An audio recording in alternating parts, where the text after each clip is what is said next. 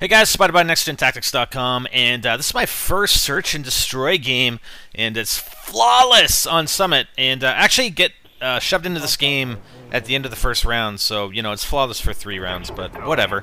And I'm just going to be talking about basically what I do to develop strategies for search. All I do, and you know, I, every time I play, it's going to take, you know, a couple weeks to, to get these strategies uh, fully tested, fully, you know, um, you know, anywhere near completed.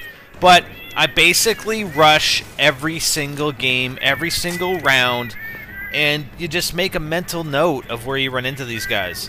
And I know there's there's a guy in here, so I'm to come up here, and um, there actually there was actually one guy who was in Last Stand and his buddy, they're on split screen. Looks like his buddy was standing right over top of him. I was, I wasn't even aiming at the guy uh, who was down. I thought he was like just a body there. He's dead, but I ended up getting a headshot on him. And I apologize for that freaking cat sound. I do mute it this round. Um, I didn't really have a chance to mute it before before now. Uh, it's freaking people. What a moron. I don't know. Anyways, so I, I, just try different rushes, you know. I'll rush the left side, I'll rush the middle, I'll rush the right side, and, and I'm just trying to find out where I run into people. And I'm using lightweight, I'm using marathon. I don't have marathon pro though, which is going to alter the um, the strategy. I mean, not really the strategy. It's just going to alter the points where you will run into people uh, slightly because you know, I think with marathon pro you do have unlimited sprint whereas with just regular marathon you don't. Um, but, you know, I, I think it's going to be fairly negligible. And uh, I've got the napalm, napalm strike. We've got... Okay, that guy just went down. So I think the guy's in here somewhere, or he's on the far side. So I'm going to try... Again, I don't know the maps very well, so I'm going to try and stay, stay sort of in between A and B here. Um, we know there's only one guy left, I believe. And I'm going to pop the Claymore down because I keep forgetting about that. I really wish there was a, uh, equipment that uh, was more offensive. So our, our teammate got taken out at A, but, you know, I, I checked the target quick at A. I'm going to sit here for a minute. A lot of times when it happens nowadays, guys will, will you know, if they kill somebody at A, they'll go over to the other target. Uh, because they know whoever's left on, on my team is going to be looking for them at A. And what I want to do here, I'm just watching B, and I'm really close to A, so I've got a good, this is actually a good line of sight here. So I see him, and I want to try and drop the freaking napalm strike off, and I do it too quick, and I end up popping it off way too far to the right. Uh, would have been freaking great if I just napalm the shit out of this guy, but it was obviously way over way too far.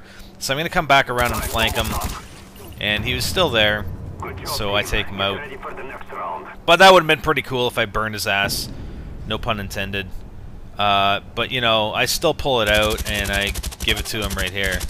Uh, no pun intended there either. yeah! Okay, so those are uh, the two defensive rounds. And uh, here we're on offense. And I'm going to do sort of the left side rush. I've got a counter and of counter spy plane and a spy plane. And um, I don't know if these guys have given up. Look at this guy. He's looks like he's a sniper or something. He's got a secondary out. And uh, there's a couple of uh, well, there was a kill I think in the last round or the round before where I tried hip firing and I got the assist instead of the kill. And there's a there's a dot over here. I don't know what the hell this guy's doing, but whatever. He's dead. I don't really care what the hell he's doing. So I'm going to come over here. We got teammates over at A, so I'm definitely coming over to B. I catch this guy going by.